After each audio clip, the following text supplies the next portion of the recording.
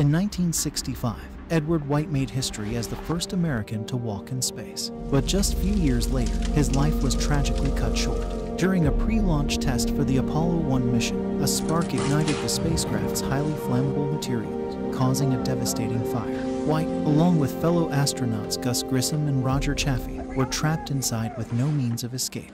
Despite the efforts of ground crews, the three astronauts lost their lives to smoke inhalation within minutes. Their deaths were a profound loss for the world of space exploration, but their legacy lives on. Their sacrifice paved the way for significant safety improvements in NASA, ensuring the safety of future astronauts. Edward White, Gus Grissom, and Roger Chaffee will always be remembered for their bravery and dedication to pushing the boundaries of human exploration.